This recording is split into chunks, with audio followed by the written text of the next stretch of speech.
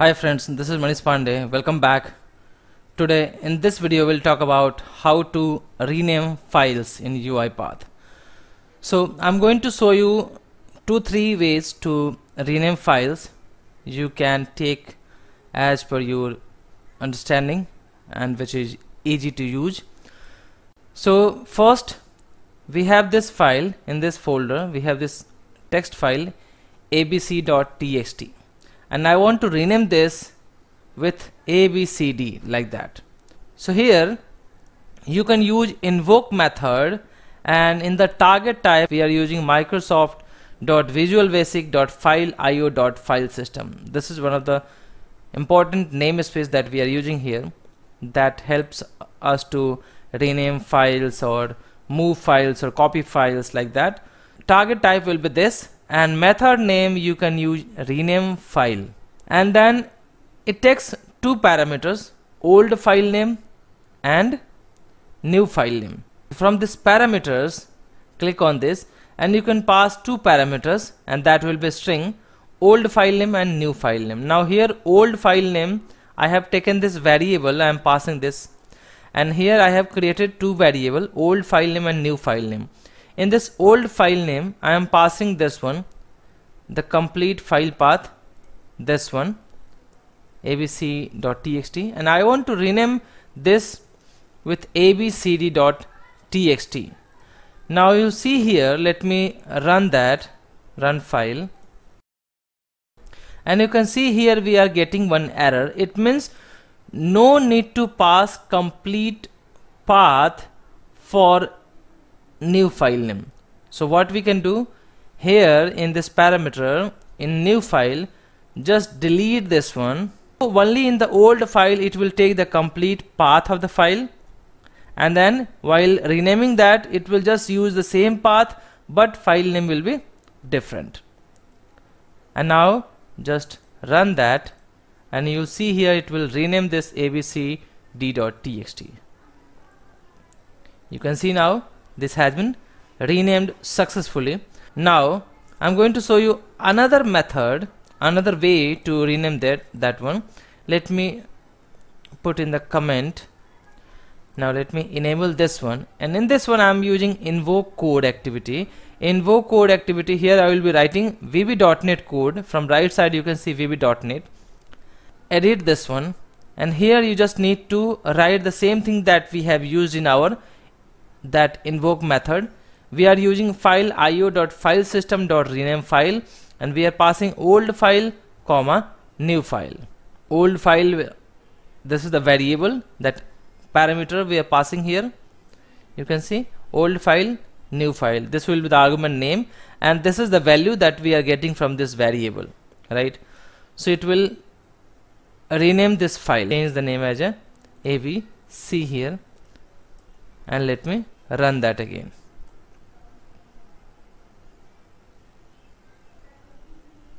And you can see this has been renamed again. Now let me change this one so that I can show you different other one. Now the third way you have seen first we are using invoke method. And second we are using this invoke code. Third that is simple.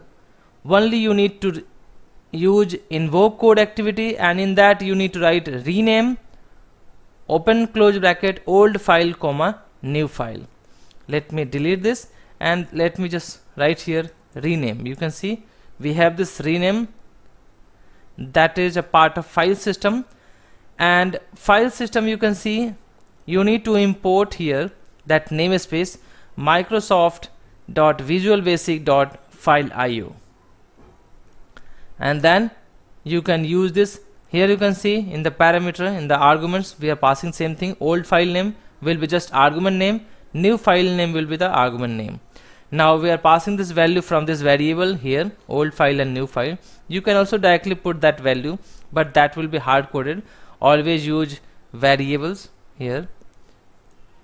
Now you can see the third one is very easy. Only you need to write rename and then your old file name and new file name. Now let me run this one.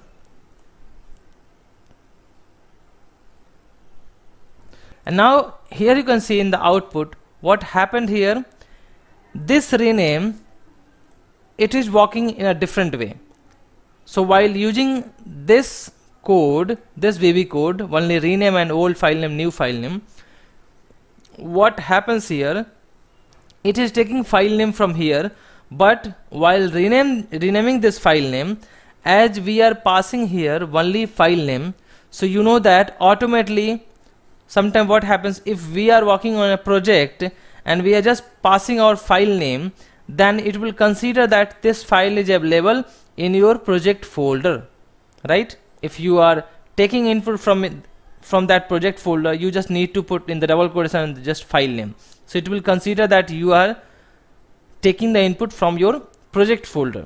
The same here also while renaming this if you are not passing the file location that path so it will just rename that and move that file to the project folder. Let me show you here. And you can see here the renamed file is now here abcd.txt we have abc.txt so you have to take the complete path here also. In the old file and in the new file. Both you have to use the complete path. So now let me change this abcd.txt and then you can just run that and you'll see here now it will work fine as expected. And you can see here it has successfully renamed the file and now this file is available on the same location. So by this way you can rename files. I hope you like this video. If so then please press the like button and please subscribe this channel if you have not subscribed yet. And please subscribe my another channel Blue Prism RPA and Pandey 2.0 I hope you will support me there also thank you so much guys. Thank you so much for watching this video. Thank you